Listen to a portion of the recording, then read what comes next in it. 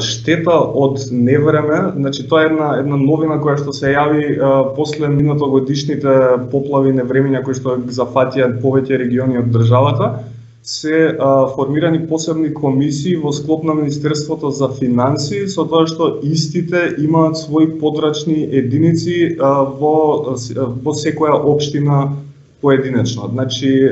штетите од ваквот од невремето се пријавуваат во општините, во односно во во овие комисии на министерството кои што се во склоп на на општините.